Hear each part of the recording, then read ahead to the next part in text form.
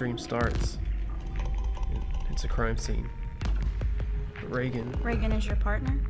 yeah, he's not there to brief me. I start to head into the woods.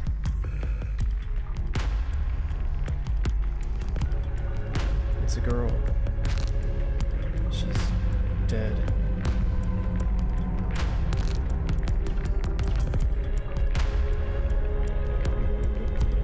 There's the sound of a heartbeat, maybe my own, and it feels like it's drowning out everything. And I start looking over the crime scene.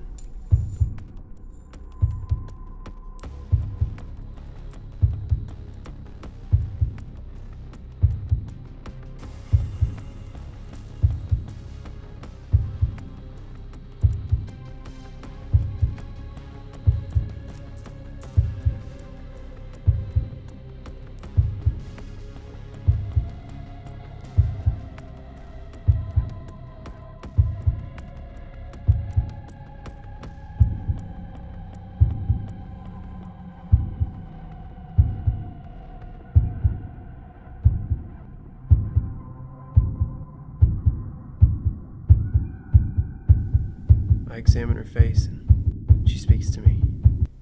I know you did it, and soon they will too. You can't hide forever.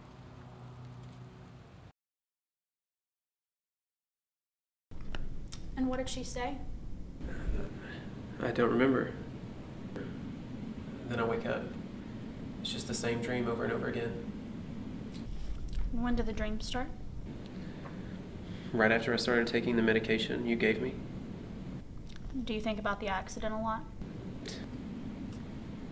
I'm a cop. The cases that I have take up a majority of my time and mental capacities. You didn't answer my question. Come on, Doc. You know as well as I do that anything occupies our thoughts, then something else is slipping through the cracks. A killer could walk, a rapist could get away.